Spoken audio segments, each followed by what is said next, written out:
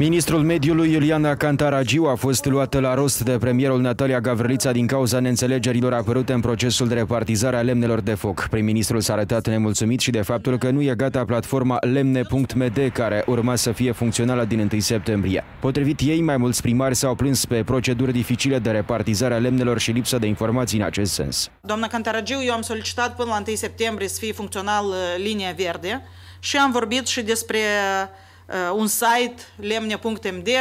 Acestea ar fi instrumente prin intermediul cărora oamenii ar putea să se informeze. Am înțeles că unele primării nici măcar nu știu la ce ocol silvic să se adreseze. Este o situație, în opinia mea, inacceptabilă. În replica, ministrul mediului a explicat că a durat pregătirea tehnică pentru lansarea liniei verzi și a paginii lemne.md. Linia verde este, din punct de vedere tehnic, este funcțională, este gata, ea va fi lansată astăzi. Aprovizionarea cu lemne uh, se face în mod uh, practic, la fel cum s-a făcut și anii precedenți. Site-ul este în proces de contractare a companiei care va elabora și în proces de elaborare și va fi ce, termenul pus în două săptămâni.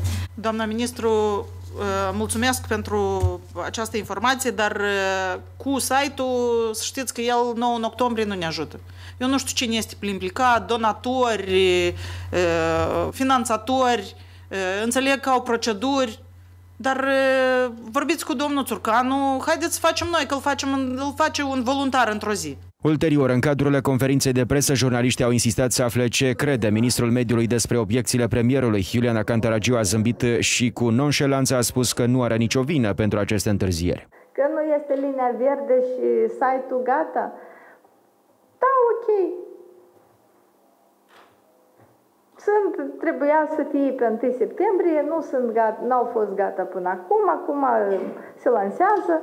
Da, este o chestie care trebuia să fie făcută anterior. Sunt lucruri care nu neapărat că au depins de noi, dar nu contează. Trebuia să fie și nu sunt făcute. Da, și ca țara să fie asigurată cu suficiente lemne în noiembrie, vor începe tăierile în avans din contul rezervelor pentru anul viitor, susține Cantaragiu. Mai mult potrivit ei, Ministerul Mediului caută și soluții pentru a suplimenta fondul forestier. Avem uh, un dialog permanent cu mai mulți uh, parteneri de dezvoltare în vederea de a construi trei serii uh, mari industriale la nivel național, asta este obiectivul nostru, investiția e la 10 milioane de euro undeva, care vor produce uh, cu sistem de irigare și mai departe și vor crește material săditor cu rădăcină protejată, care uh, va, ne va permite într-adevăr să plantăm mult mai mult. Fiecare familie va putea cumpăra în sezonul rece 5 metri ster de lemne în două tranșe. Prețurile variază între 550 și 875 de lei pentru speciile tari, între 350 și 475 de lei pentru speciile moi.